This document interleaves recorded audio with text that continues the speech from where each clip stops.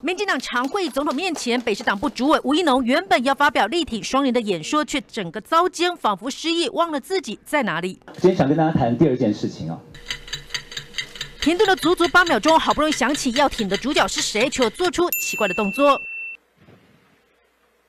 长左静怡，我跟想跟他谈的第二件事情。我突然间忘了我要跟大家谈什么事情了。不仅忘词，还当场放空，甚至 Q 小英总统来救援。我想说，今天原本焦点会在总统的袜子上面。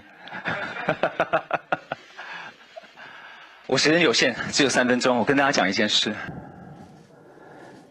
我还是看一下我的笔记好了。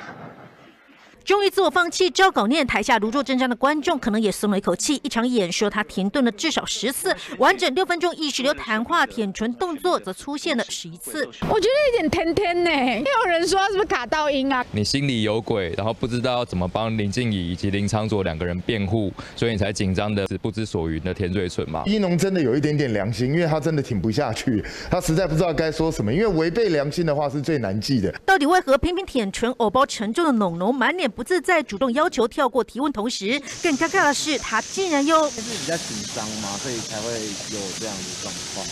我